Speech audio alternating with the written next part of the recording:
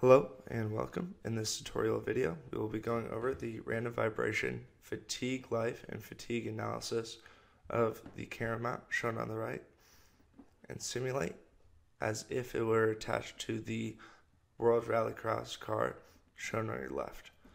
The mount is made out of structural steel and is required to withstand 24 hours under the extreme racing conditions. The workflow in this tutorial will be as follows. We'll start with our static structural model, applying a point mass load in order to simulate the way of the camera. We'll then evaluate our initial stress results just due to the weight of the camera and use that as the pre-stress during our modal analysis. We'll use the results of the pre-stress and the modal analysis in order to determine the accompanying frequencies for our PSD loads during our random vibration analysis. We'll then spend the rest of the tutorial walking you through how to determine the stresses due to random vibration loading and finding the total fatigue life of the mount. In order to determine the fatigue life of the part, we'll be using Steinberg's formulation, which is the default setting in ANSYS Mechanical. Steinberg's formulation uses all three stress occurrences of sigma 1, sigma 2, and sigma 3, and the rate of occurrence along with the very popular and common Miner's rule in order to compute the total fatigue damage of the system. So, without further ado, let's jump into our simulation. So, now walking through the model, as you can see, you have the point mass sitting right above the part.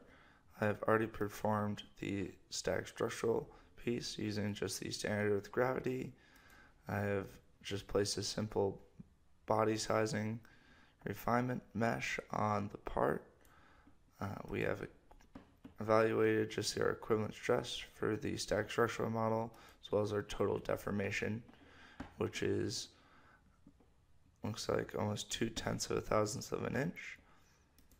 We've done our initial modal analysis using the static structural pre-stress calculated the total deformation just flipping through at each of the modes and are ready to take on our random vibration test. Now, for our random vibration analysis, we are going to insert a PSD G acceleration. For our boundary condition, we're going to select our fixed support and we're going to start filling out this table.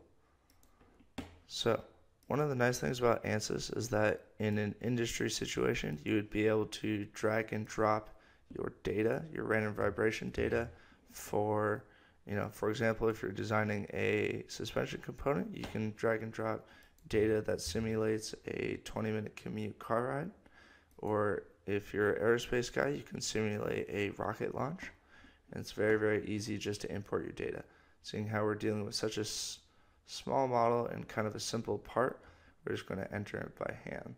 So give me one second. We'll cut to when I have this table filled in with the PSD G acceleration values I've calculated for the rally car. Alright, so now that I have that table filled in with my G acceleration values, I'm going to select my direction, which is the Y direction. I'm going to simulate the same direction that gravity is acting in. And I'll go ahead and solve for my stress results. Notice I just have a de directional deformation and then equivalent stresses for each sigma 1, sigma 2, and sigma 3. Now, once your model has solved, go and flip through your stress results. The only one that you're particularly going to care about is your sigma 3 value, which includes 99.73% of all stress values due to random vibration loading. So this is going to be your best bet at accurately showing the amount of stress your part is going to see due to random vibration. All right. And so because we are mainly worried about the fatigue life and we're positive that it's not going to break during normal random vibration, let's go ahead and click on solution again and under tools insert a fatigue tool.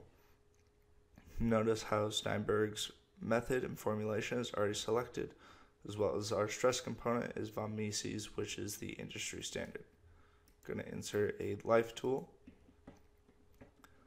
And under life, we can go ahead and solve this model. Alright, so very quickly we notice that the middle of the part is all in the same gradient of red, which is 73.514 seconds. That calculates to exactly 20.4 hours. So, based on that, we're not passing the 24 hour mark with this part, unfortunately. We get very close with 20.4, but not quite up to that 24 hour mark. Since we want to do a little bit more digging, we go ahead and click damage. Now, after solving for the damage accumulated by the part, you can evaluate and look at the two areas where cracks are most likely to propagate in your part. So look at this fillet here. We have a little patch underneath the part here and at this sharp edge. And so those are the areas that I would address first when redesigning this part and trying to get its lifespan up to that magical 24 hours that you're looking for for the rally car. I hope you have enjoyed the video and hope you have a great day. Thank you.